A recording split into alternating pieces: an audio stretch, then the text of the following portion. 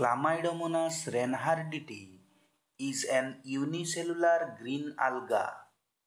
Chlamydomonas reinhardtii has two flagella.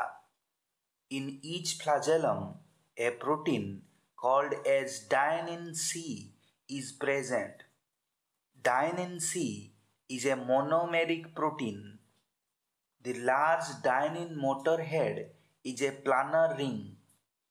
The large dynein motor head contains a C-terminal domain and six AAA domains.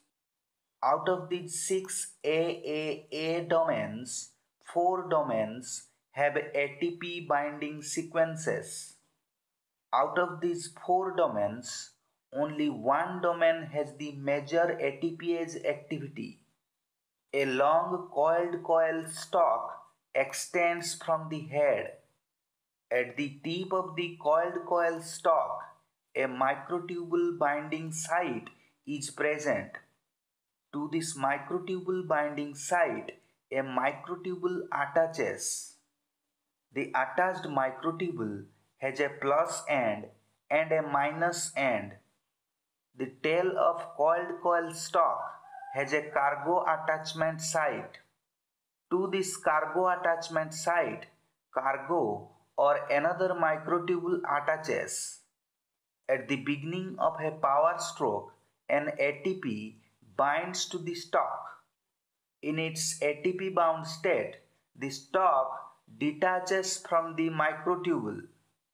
The bound ATP then undergoes hydrolysis to produce ADP and PI.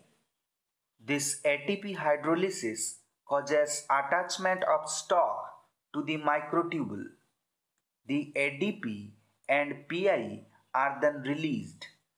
This release of ADP and PI then leads to a large conformational power stroke. This power stroke involves rotation of the head and stalk relative to the tail. Each cycle generates a step of about 8 nm along the microtubule towards its minus end. Please like, subscribe and share.